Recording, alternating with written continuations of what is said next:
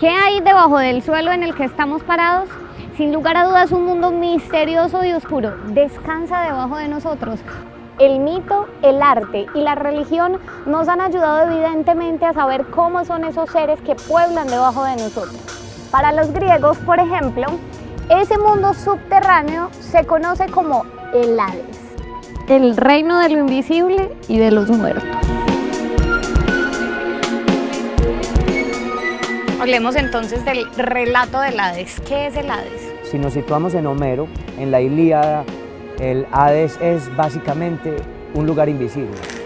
La palabra griega Hades es una palabra compuesta de A, que en griego significa sin, y idis, que significa ver. Entonces significa lo que no se ve o lo invisible.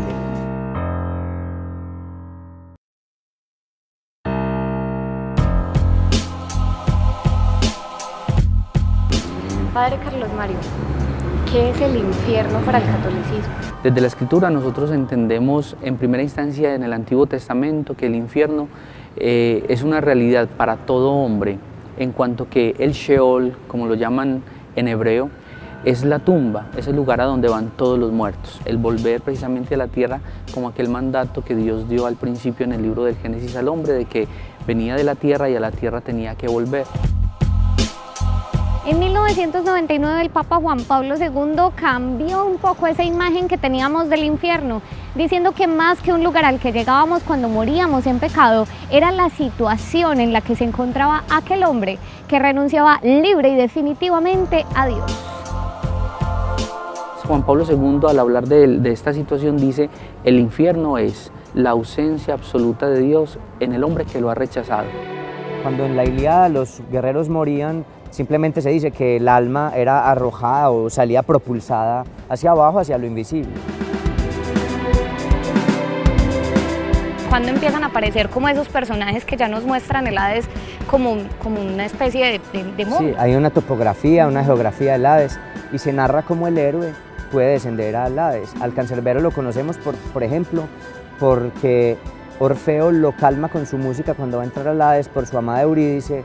Eh, el cancerbero, al ser un perro, tiene ciertas debilidades, pero tiene como misión no dejar que las almas salgan ni que lo vivo entre. Solo cuando morimos llega Thanatos con la antorcha apagada mirando abajo y le entrega el alma que, que se exhala por última vez a Hermes. Hermes las conduce las almas, las entra, pasa al, al, cancerbero que lo deja pasar, porque a, a, Hermes sí lo deja pasar, y te lleva hasta la orilla del primer río, que es el río Aqueronte. Era una de las posibles entradas al, al inframundo, a lo invisible. Les ponían como unas monedas en los ojos. O en los ojos, o debajo de la lengua, o en los puños. El campo de los asfódelos es lo primero que usted ve y ya se da cuenta, estoy muerto. O sea, cuando usted ve esa flor, que es una flor que, no, que florece sin luz, y que florece en la plena oscuridad, usted dice, ya he muerto. Es decir, es la conciencia de la muerte. ¿Cómo cambiar un poco, eh, modificar esa idea y que la gente entienda, que el, que el católico, que el cristiano entienda que, que es un asunto interno del hombre y que Dios es un Dios amoroso que no nos va a poner cuando pues, nos muramos a sufrir en un lugar, en una paila llena de fuego.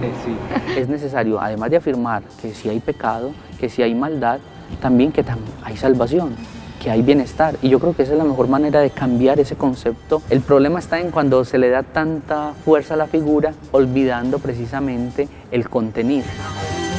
Evidentemente todos estos pensamientos han sido acompañados por el arte. La escritura, la pintura, la literatura, el teatro y el cine nos han ayudado a poblar con nuestra imaginación aquel mundo que vive debajo de nosotros. Y sin embargo uno sigue caminando todos los días tranquilo, imaginando sin querer imaginar muy bien qué hay debajo de nuestros pies y al final de nuestros días.